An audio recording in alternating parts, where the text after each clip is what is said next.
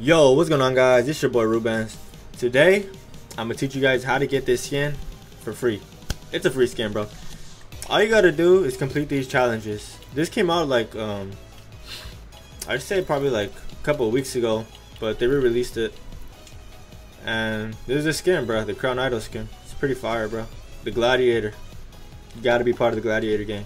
All you gotta do is complete these challenges, which consist of play any round in ring hexathlon, pretty easy. Win ring hexathlon, pretty easy. I just dropped a video on that too. Oh, I'm gonna drop a video on it. Reach round three in squad shows, that's pretty easy. Reach the final round in squad shows, easy. Win squad show, pretty easy. Reach round in duos, win duos. Reach round in four, reach round in solo. Reach final round in solo, and then win solo. That might be the hardest one is winning solo. And I said it was easy too, but maybe squads too because if you don't have friends, you probably gotta play with completely random people. But sometimes you can win. I won before random people.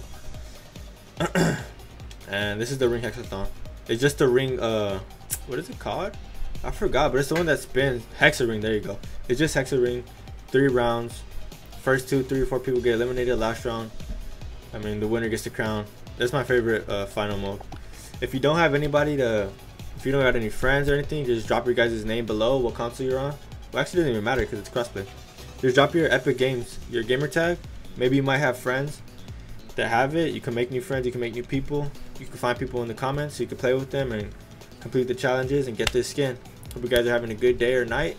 Drop a sub if you're new. Drop a like. I love y'all. Have a good night. Ruben's out.